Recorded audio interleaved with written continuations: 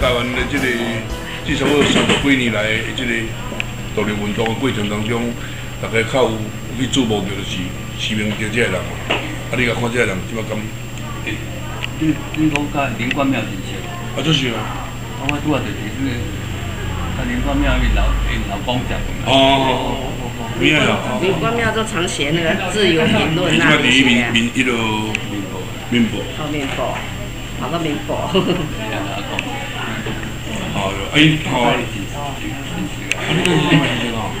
问题我林林冠庙也无熟啊。哦，我甲伊啊，你有拄到林冠庙啊？有有拄到林冠庙？无啊，林冠庙就无对。好不对啊？我到了迄个迄个，咱们迄基金会做。哦好，那么行。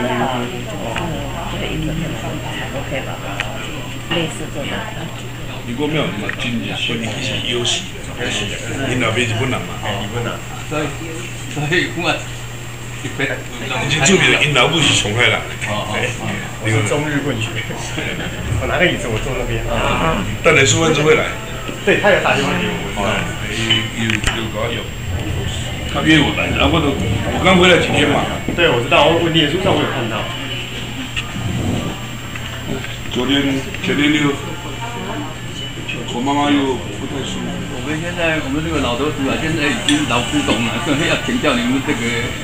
年轻有为的。没有，不敢，不敢，不敢。我们也是我我你那你那怕电脑可怜啊，侥幸成功。刘先生，我请教您一下哈，您您认为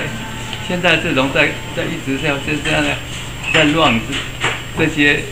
跟以前没有什么差别的，你认为到底要乱到什么时候才能够把这个局面改变过来？大才会一问问这么大的问题，我觉得改有在改变。像我们如果真的是做做第一线的，我们必须要相信有在改变。那太阳花确实，太阳花是一个很重要的转折点，确实，它让整个世代年轻人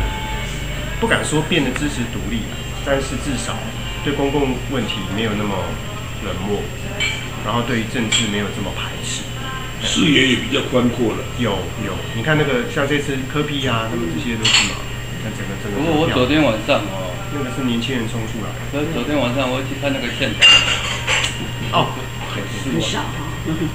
不意外啊，这个不意外，我也没去啊。不是，我认为那个不应该只有那那那些人，不是这个这个部分只能跟可能，如果你是要从这个这个面向切，大概真的是跟跟以前前辈们没什么差别啊。我我今天也很感叹，脸书写了一则，我觉得可能台湾人的民族性，就共同敌人觉得打的差不多了，就开始要做要做短啊，那每个人都要每个人都要做假我在写一朵啦。篇文，就是这个太阳花的，对，其实其实。其实批的很多大部分都是真的啦。你说太阳花就是就是现在就是四分五裂嘛，那可是这个四分五裂比以前以前更散。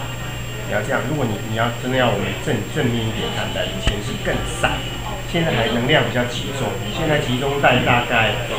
大概三四三四个三四挂人下面，大概是这样。但是坦白说，我的看法是，非就就针对针对各这个团体本身的发展，我是没有那么乐观，因为我我自己是走政治化路线嘛，我认为只有政治化路线还比较可能走得下去。如果你走传统的社运，然后又是这种歌派式的社运，很快就很快就没有人理他们了。嘿，昨天戴中强号称四十个团体嘛，这四十个团体全部都是老团体啊，骗笑哎，他就没有找太阳花啦、他太阳花只找了一个黑岛青啊，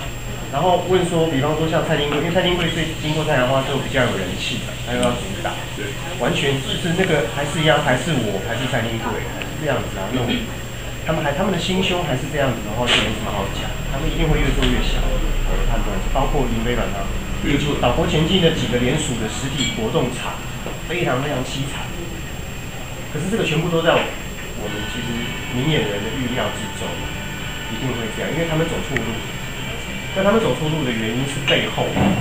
他们被一些怎么说，不知道怎么形容，讲出来都是脏话。他们被某一种文化影响太深，